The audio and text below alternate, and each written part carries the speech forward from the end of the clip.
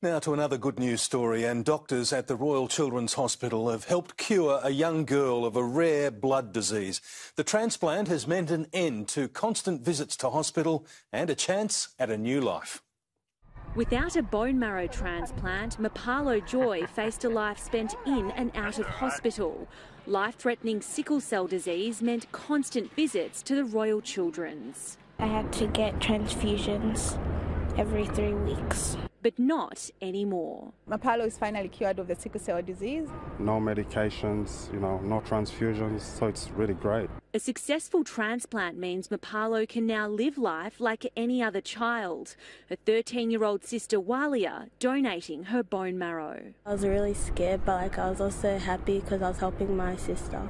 Mapalo and her parents spent 40 days in isolation. So she was in that ward right there up there.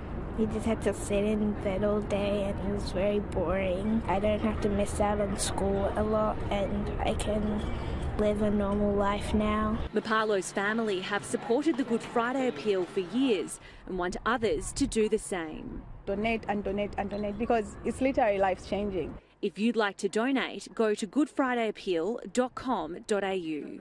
Estelle Griepink, 7 News.